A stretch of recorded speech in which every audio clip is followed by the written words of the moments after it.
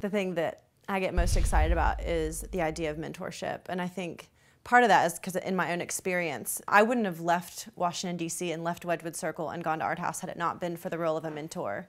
It was her knowing me, and it was not that moment. It was the, it was the three years she'd spent with me to have, um, you know, a Paul come alongside of Timothy or come alongside of Peter and say, yeah, what you're doing is right, but I want to help you. Um, and I think in the world, you know, I'm in a world where everybody is willing to do it for a dollar, you know, and it's and it's great. I know that people need to do that as consultants and that's important, but it changes things when someone is saying, I'm doing this for the Lord because I see the potential in you.